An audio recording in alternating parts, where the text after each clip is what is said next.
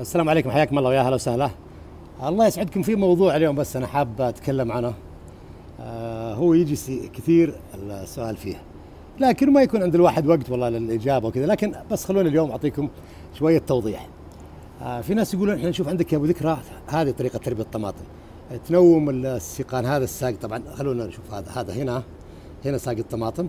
آه هذا زي ما أنتم شايفين هنا.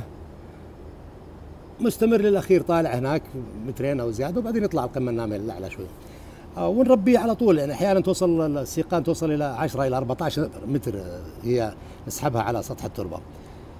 آه الفكرة الله يسعدكم إنه ليش أنا أربي كذا وفي بالمقابل أنتم تسوون مقارنات مع ناس أنتم تقولون لما ندخل البيت المحمي أو الصالة الزراعية نلقى الطماطم كله من أول الأرض لغاية حامل المحصول كله طماطم ثمار خضراء والبدايات بادية بالتصبغ لغاية النهاية. ونازعين أو معرين الأوراق ما فيها أوراق شايلين الأوراق.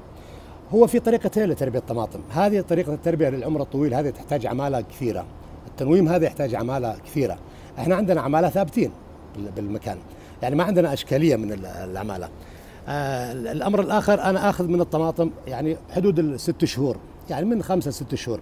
اللي يربي بالطريقة الثانية هذه الله يسعدكم اللي هي طريقة ال- آه، العمودية إلى حام- حامل المحصول ولا ينزل الطماطم بطريقتنا هذه. هذا اولا عنده قلة عماله ثانيا عنده تعهدات مع شركات معينة ويبغى أحجام الطماطم اللي هي في بداية العمر وقوة الثمار اللي هي في بداية العمر. آه وقولوا ما شاء الله تبارك الله ما شاء الله لا إله إلا الله لا قوة إلا بالله. هذه هذه الفكرة. هذه يربيها دفعة واحدة ياخذ منها أول الانتاج لغايه شهرين ونص أو, أحيانا توصل ثلاث شهور يقطف منها.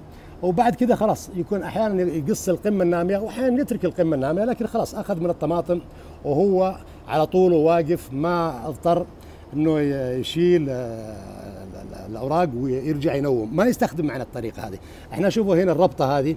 هذه الربطة حقت حامل المحصول اللي كان الطماطم يوم كان صغير رابطينه من الأرض طالعة فوق الحامل المحصول.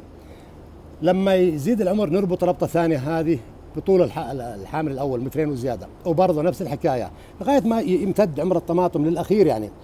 آه، فهذه الفكرتين هذاك مضطر هذاك عنده تعهدات آه، مع شركات أو مع شغلات آه، ملتزم بمقياس معين للطماطم وأحجام معينة. إحنا مش ملتزمين بأحجام إحنا ننزل بحكم إنه مكان كبير إحنا ننزل على الأسواق المركزية بالمنطقة. هذه الفكرتين الله يسعدكم. هي اللي من خلالها يتربى محصول الطماطم. آه خلونا نشوف عد بعض الأصناف. شوفوا ما شاء الله. ترى في بعض الكلسترات أو المجاميع هذه يصل إلى 12 ثمرة. آه كلها أحجام ما شاء الله تبارك الله أحجام جيدة. لكن تعرفون طبعا العملية تحتاج لها انضباطية وتسميد وشغلات. آه هذا بس موضوع على السريع. آه بعدين إن شاء الله نتكلم عن كيف نوصل الطماطم للمراحل هذه. سبق تكلمت أنا كثير الله يسعدكم. لكن تستاهلون كل خير ومع السلامة.